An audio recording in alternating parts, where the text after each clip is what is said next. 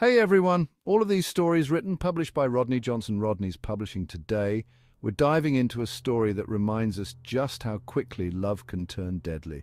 It's a tale of passion, betrayal, and heartbreak. Grab your popcorn because this one's a roller coaster, Jason and China high school sweethearts, the kind of couple everyone envied. They had it all, at least on the surface. But like any perfect facade, cracks began to appear. Sophie, China's friend, dropped a bombshell China had been unfaithful. Imagine Jason's world. Everything he knew about their love shattered. He started replaying their past, the fights, her controlling ways, his suspicions that he had buried deep. Despite the red flags, Jason stayed, blinded by love. Memories came flooding back times where he felt neglected, controlled China's dismissive attitude, her constant complaints, his happiness, dwindling what once seemed unbreakable, now felt toxic. Then the breaking point Jason confronted, China. It all blew up in a heated argument.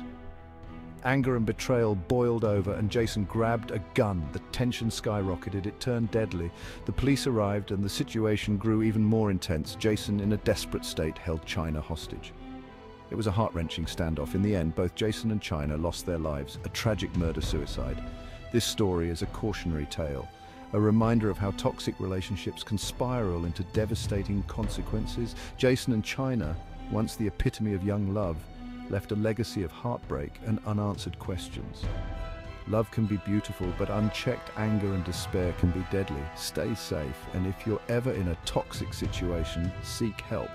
Remember, there's always a way out. Thanks for watching. If you found this story compelling, don't forget to like, subscribe to Rodney's Publishing, or hit the Bell X profile link in my BioCash app link below for more intense tales.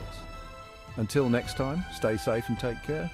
For more short stories like these, look up books by Rodney Johnson, Crime Artist, Brain Boxing, and my latest Leave Room for Human Errors.